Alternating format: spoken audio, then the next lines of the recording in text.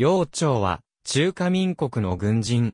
南方政府、国民政府の軍人で、越軍出身。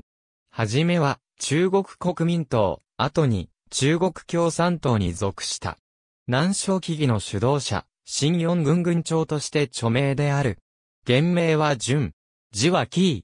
はじめは、京葉県中東産業学校で学んでいた。しかし、転じて、甲州陸軍小学に入学した。1914年12月、湖北陸軍第二予備学校に入学する。1916年より、補定陸軍軍艦学校公平科で学んだ。民国7年、南方へ向かって、越軍に加入する。1919年、中国国民党に入党した。以後、順調に昇進し、1923年3月、憲兵司令部参謀長兼第一衛衛長に就任した。1924年秋にソ連を訪れる。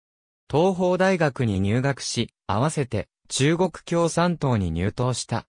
1925年秋に帰国し、国民革命軍第4軍参謀所長に就任した。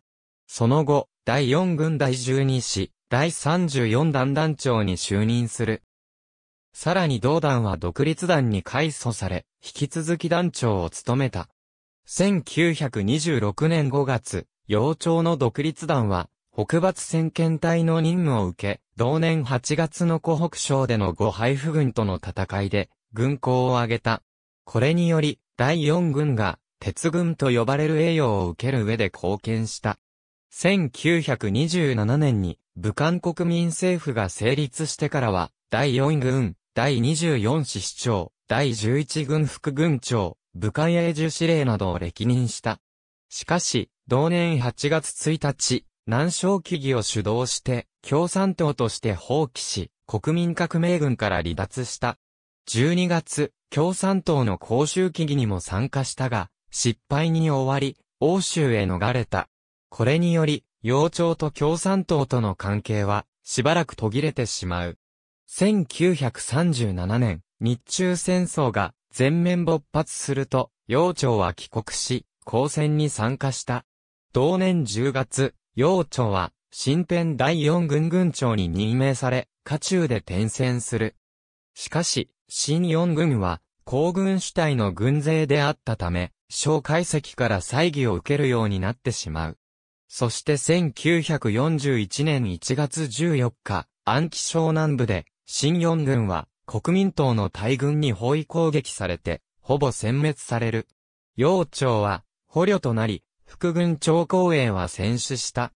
以後、楊朝は、各地で拘禁され続け、1946年3月4日に、重慶で、ようやく釈放された。その3日後に楊朝は、共産党に再入党している。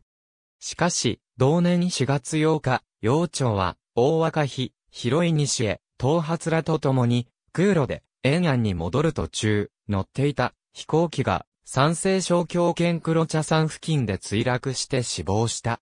去年51。中国人民解放軍陸軍第379連隊は、幼鳥が指揮した独立団をルーツとし、栄誉称号、幼鳥独立団を有する。同連隊の所属する第127師団は、鉄軍の称号を継承している。ありがとうございます。